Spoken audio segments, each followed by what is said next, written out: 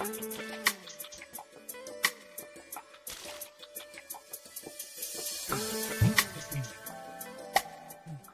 वाचकांना पुस्तक दर्पणामध्ये मी प्राची दामले आपलं सहर्ष स्वागत करते. एक मराठी चित्रपट बघत होते. त्यामध्ये म्हणींचा मुबलक वापर केलेला होता.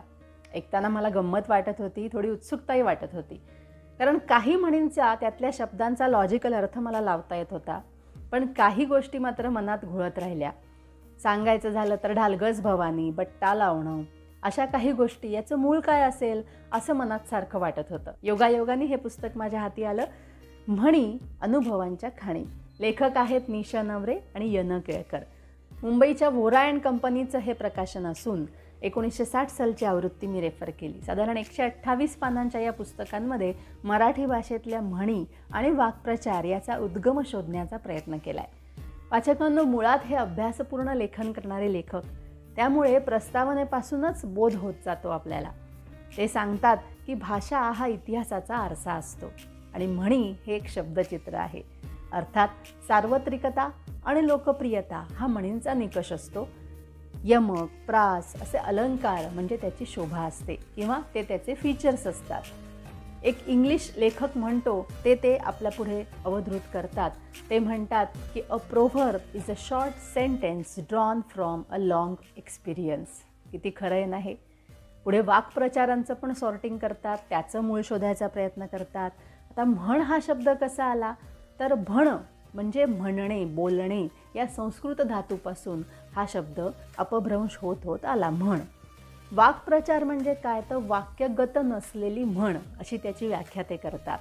अर्थात म्हणी असोत व वाक्प्रचार असोत त्या त्या त्या अनुभव क्षेत्राशी संबंधित असतात.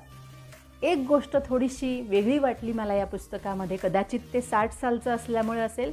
ते म्हणतात की स्त्रियांच्या तोंडी वाक्प्रचार आणि म्हणी या जास्त पटकन आपल्याला रुळलेल्या दिसतात. कारण ते म्हणतात स्त्रियांचं अनुभव क्षेत्र हे मर्यादित आहे. ते म्हणजे स्वयंपाकघर. तर कदाचित ही गोष्ट आपल्यापैकी काहींना खटकेलही पण तो काळ लक्षात घ्यावा आणि आपण आता ते बदलू शकतोच नाही का? त्यासाठी त्यांनी स्वयंपाकघराशी संबंधित काही म्हणी त्याचं एक वेगळं पान आहे. मग मूग गिळणं डाळ शिजणं किंवा डाळ न शिजणं अशा काही त्यांनी आपल्याला मासल्यांमधून दाखवून दिलं आहे की ह्या स्त्रियांच्या तोंडी का बसतात म्हणे. पुढे ते आपल्याला सांगतात भुरक्या वाचून जेवण नाही आणि मुरक्या वाचून बाई नाही. हे पण सगळ्यांना पटण्यासारखी गोष्ट कदाचित नसेल पण महत्त्वाचं काय आहे तर काही काही म्हणींचे उद्गम आपल्याला समजतात. मुळामध्ये म्हणी हे एक फ्लोटिंग लिटरेचर आहे असं ते म्हणतात. त्यामुळे वेगवेगळ्या भाषांमधून मराठीमध्ये काही वाक्प्रचार किंवा म्हणी आलेले आहेत. अर्थात थोडासा बदल होऊन. त्यातलं एक आपल्या सगळ्यांच्या परिचयाचं उदाहरण कोणतं? संस्कृतमधलं प्रसिद्ध वचन आहे स्वभावो दुरतिक्रम. हा मराठीमध्ये आपण म्हणतो स्वभावाला औषध नाही. असे जे भाषिक किंवा ऐतिहासिक व्युत्पत्ती असणारे वाक्प्रचार किंवा म्हणी आहेत ते काही नमुने आपल्याशी शेअर करते. एक आहे ओनामा.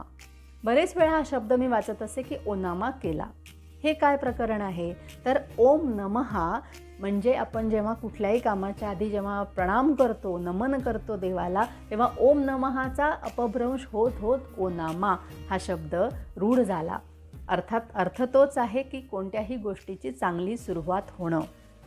किंवा एखाद्या गोष्टीमध्ये अडथळा येतो तेव्हा आपण म्हणतो ओमफस झालं. हे ओमफस काय आहे? तर संध्येमध्ये ओमफट हा जो एक मंत्राचा भाग वापरला जातो म्हटला जातो त्यापासून हा शब्द आता तो कसा आला हे एक कोडच आहे आणि ते काही पुस्तकामध्ये उलगडत नाही. पण त्यातून त्याची उत्पत्ती झाली की ओमफस झालं म्हणजे कुठल्याही कामामध्ये अडथळा आला. फटफजिती. आता याचं मूळ सांगताना ते म्हणतात फटकळ आणि फजिता अशा गोष्टींचं हे कॉम्बिनेशन आहे. त्यातला हा जो फटकळ शब्द आहे हा जुन्या वाङ्मयामध्ये त्यांना फार वापरलेला आढळतो. वाईट गोष्ट होणं अशा अर्थाने हा शब्द वापरला गेला आहे विशेषत कोशवाङ्मयामध्ये त्यांना अशी त्याची व्युत्पत्ती आढळली की अनेक संकटांची परंपरा सतत चालू राहण्याचा विषम काळ म्हणजे फटकळ.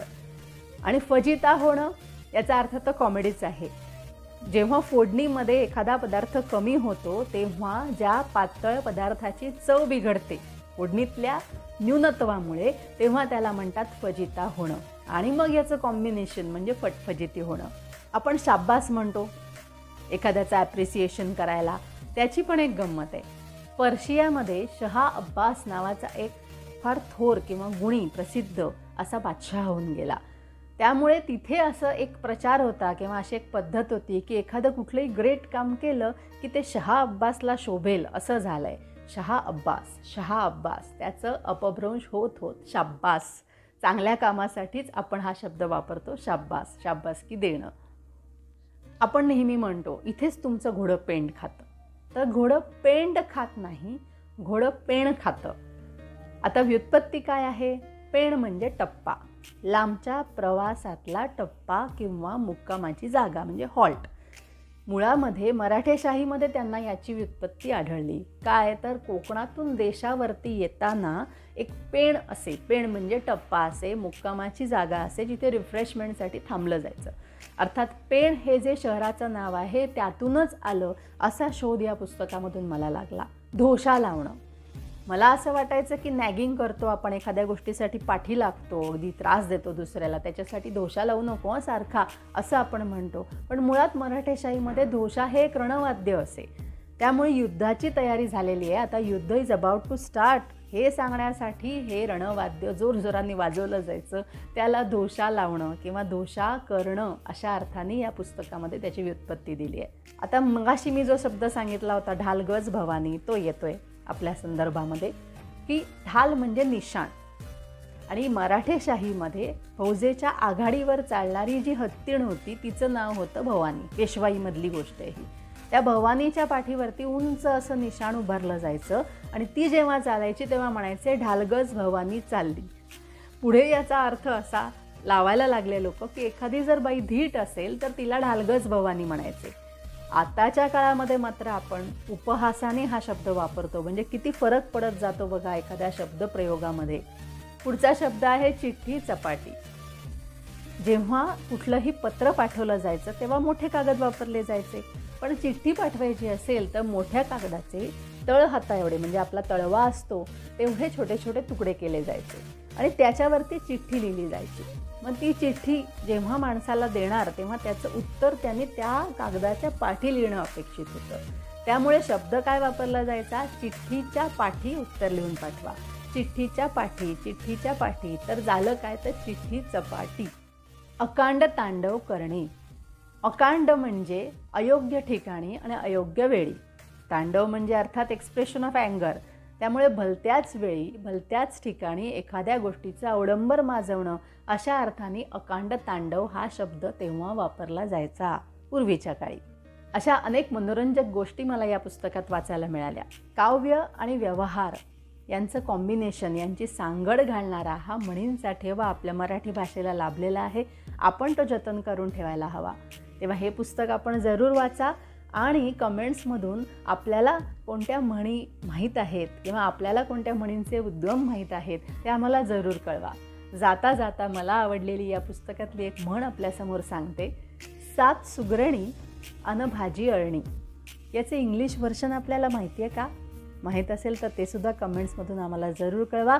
तोपर्यंत इथेच थांबते आणि आपला निरोप घेते. वाचकांनो तुमचं प्रोत्साहनच असंच काम करत राहण्याची आम्हाला शक्ती देईल. त्यामुळे शेअर लाईक सबस्क्राईबचं टॉनिक तुम्ही आम्हाला जरूर द्याल अशी खात्री आहे.